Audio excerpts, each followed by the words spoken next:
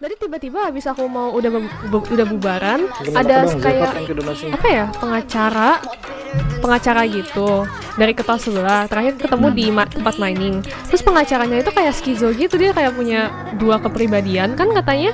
What the fuck? Terus What kepribadiannya satu lagi yang yang kayak lemah gemulai nggak jelas itu si Dion juga bilang kayak Dian, oh, nama gitu. Dian, Dian. Dion, Dion.